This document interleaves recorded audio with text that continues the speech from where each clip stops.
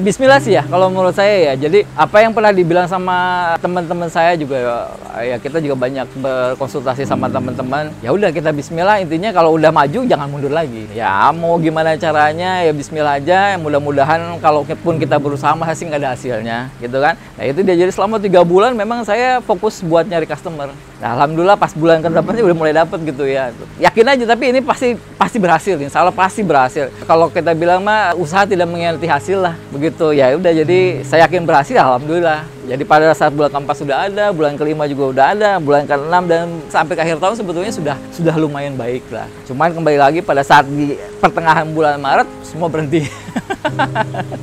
semua berhenti di awal pandemi itu jadi kita gini pada saat bulan November 2019 itu saya dapat kontrak sebetulnya. Kontraknya lumayan besar dengan BUMN ada 15 unit. Pada saat jalan baru dua bulan udah mulai Desember Januari Februari gitu kan tiga bulan itu kena pandemi bubar langsung kontrak. Jadi 15 itu kita sudah selesaikan hampir totalnya 8 unit itu nggak dibayar sampai ke akhir tahun. Tapi saya beresin semuanya baru diselesaikan pembayarannya di tahun 2002 bulan Januari. Jadi lama banget. Padahal kontraknya berapa kan nggak terlalu lama. Tapi karena pandemi akhirnya ya udah semuanya pada bubar lah gitu. Karena mereka juga kan nggak bisa melakukan aktivitas pembayaran karena pada saat pandemi kan semua nggak ada kegiatan apa-apa gitu ya. Apalagi saya kontrak dengan BUMN yang mensuplai bandara. Bandara kan ditutup. Nah iya, jadi kalau bandara itu tuh mereka juga nggak bisa ada pendapatan kan, saya juga bisa ngapa-ngapain gitu.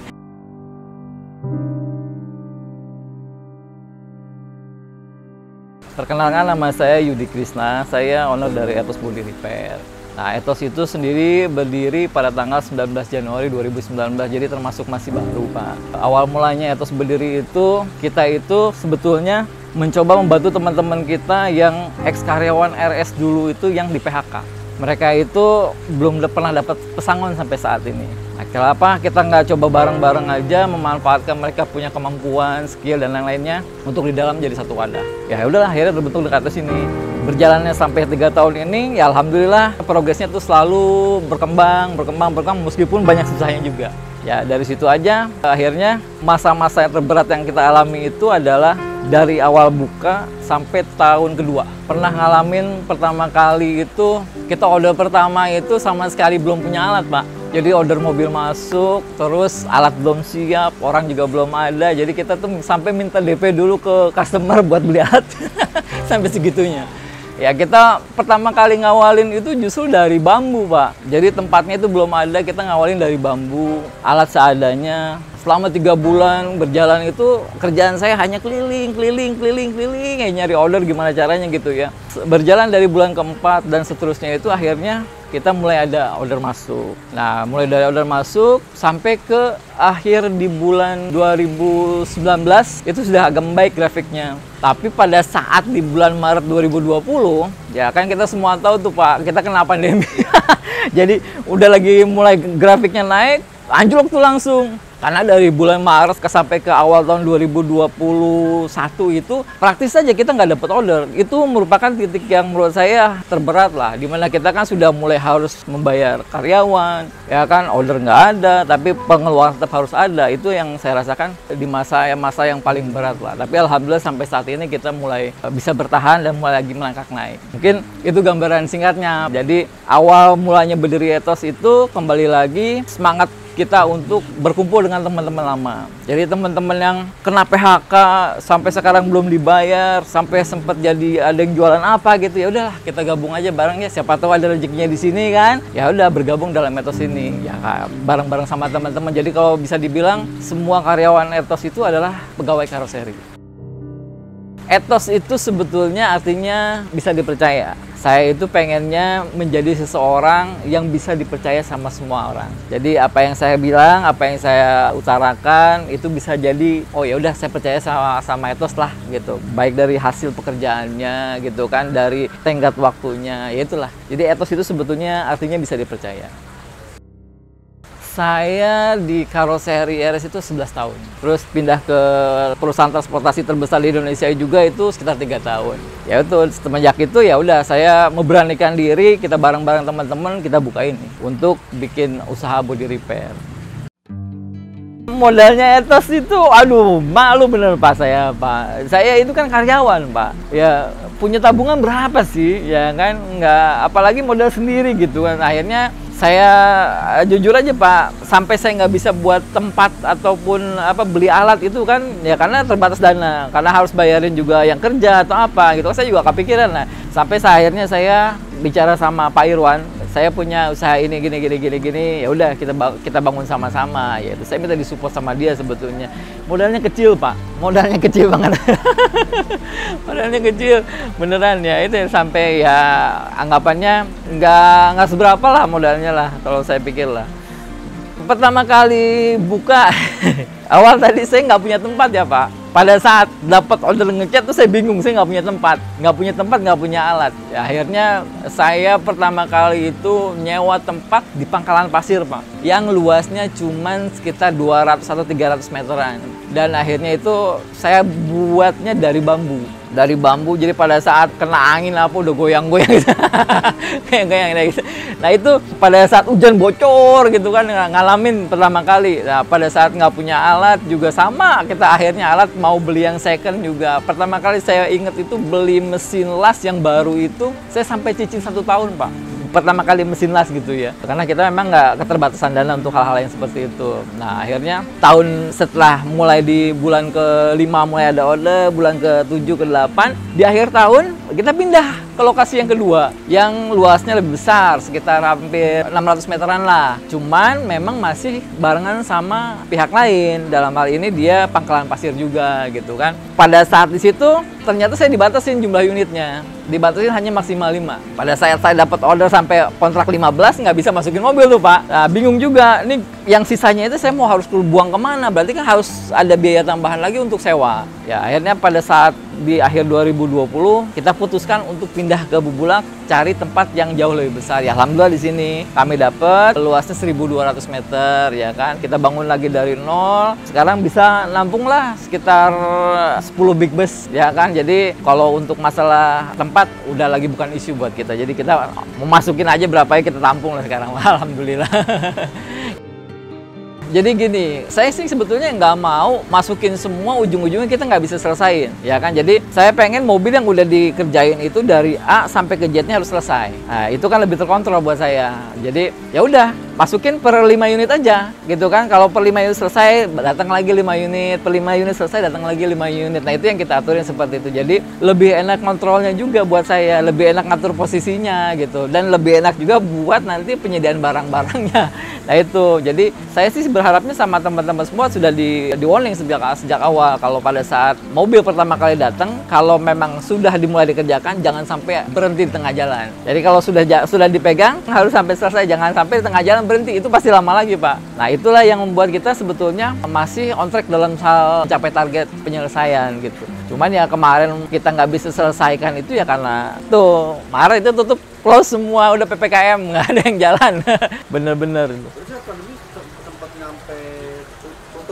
tutup Iya, nggak ada aktivitas. Karena kan pada saat pariwisata bener-bener kosong, PO nggak ada, yang bandara ditutup, udah bener-bener nggak bisa ngapa-ngapain gitu kan. Apalagi waktu itu lagi mulai menanjak tuh dari Maret, April, Mei, Juni sampai di bulan Julinya itu kan tinggi sekali itu kan. Nah itu lagi naik nggak ada yang boleh keluar. Ya udah, mau nggak mau semuanya udah ya berat lah.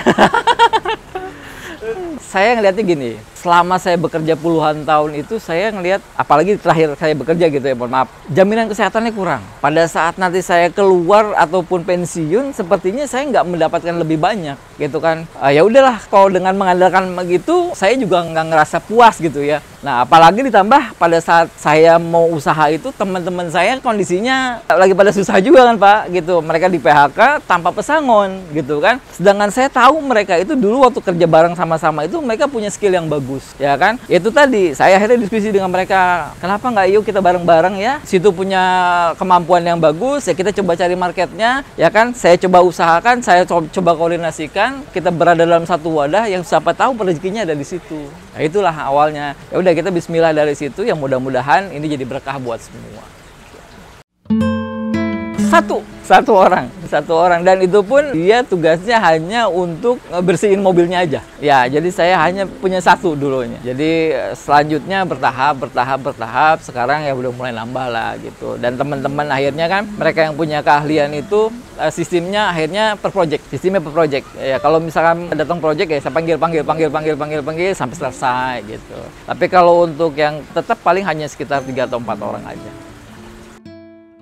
Bedanya saya punya passion di situ ya. Kalau bekerja itu kan saya di drive dari orang dari atas ke bawah gitu kan ya. Jadi disuruh ini ya ikutin gitu ya baru. Tapi kalau di usaha itu saya lebih bisa mengeluarkan ide-ide, lebih bisa berkreasi lebih banyak gitu. Terus yang pasti juga relasi saya jauh lebih banyak ketimbang pada saat kerja, ya kan? Dan itu menurut saya modal. Karena kalau saya pikir kan rezeki itu datangnya dari temen, ya kan? Semakin banyak teman, semakin banyak rezekinya insya Allah gitu ya. Makanya sekarang silaturahmi ke semua teman teman-teman ataupun yang baru itu menurut saya suatu kewajiban buat saya. Yang akhirnya ya kalau kita bilang mah akhirnya database-nya kita jadi makin banyak kan. Makin banyak database makin banyak teman pak. Kalau makin banyak teman insya Allah juga rezekinya makin banyak gitu. Amin.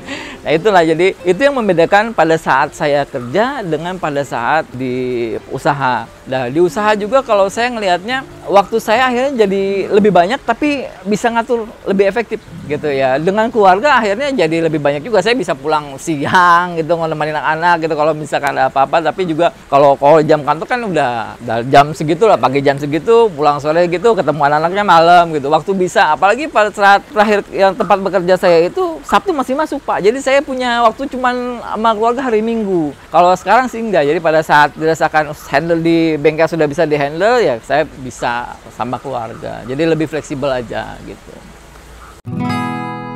Kalau customer dari yang paling besar itu sebetulnya dari kementerian ya, ya dari kementerian. Jadi kita banyak dari kementerian itu biasanya sudah satu paket ya kan. Ada yang 10 unit gitu kan. Jadi berapa unit, terus ada yang 15 unit, berapa unit. Kalau untuk PO PO sih paling ya PO yang paling sering itu ya dari sekitar sini aja. Ada di bus, ada Discovery, ada Anizar Transindo ya. Tapi kalau untuk dari uh, yang instansi mulai dari Menkominfo, terus BKPM, IPB gitu itu sudah udah mulai jadilah udah mulai jadi terbiasa dengan kita gitu. Nah, gitulah. Itu awalnya dari nol saya nggak punya database sih pak. Tapi ya seiring waktu dari informasi teman-teman cobain ke sana cobain ke sana sampai akhirnya dapet. Ya untuk PO biasanya ada kita orang sendiri yang ngurusinnya. Biasanya dari medsos sih pak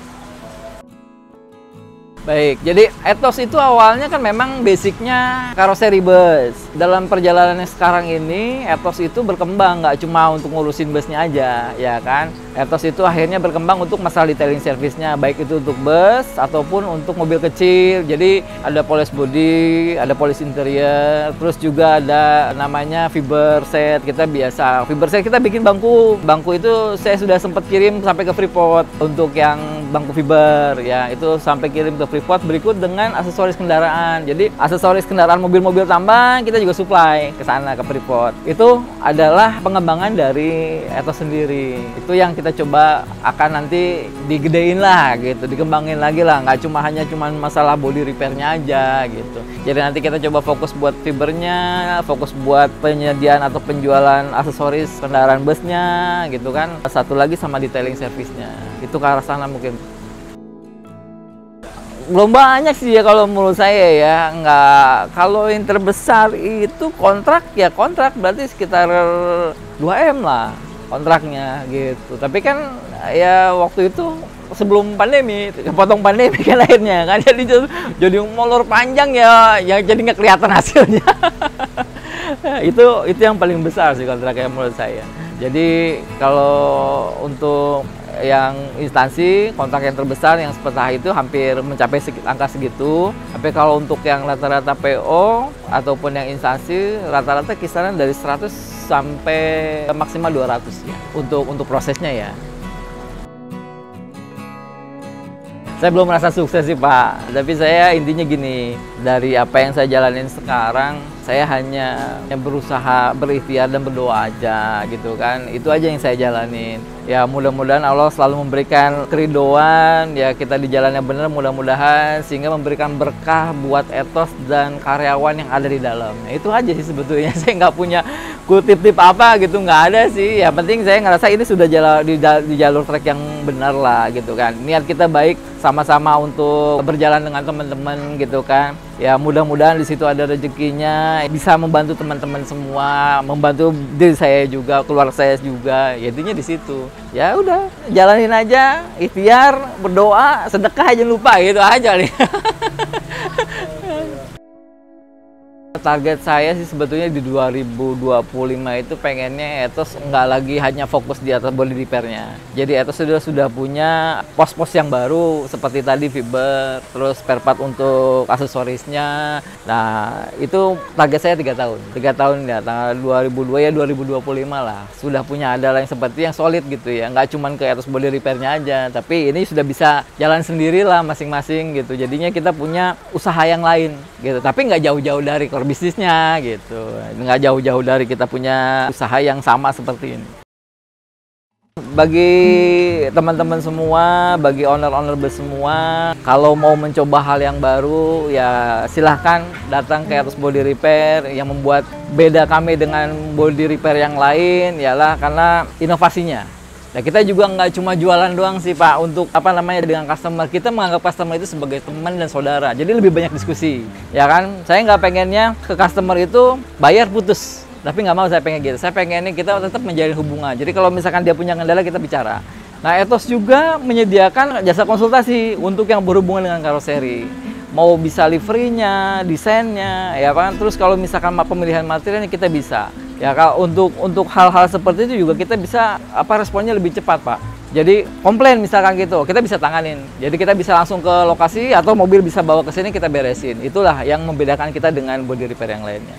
Oh, untuk Eto sendiri sekarang ada di Bubulak Jalan Damai nomor 4 di Bogor Barat. Jadi kalau misalkan mau ke sini tinggal di map aja, ada kok baca aja Etos Vimadani. Itu udah langsung bisa keluar.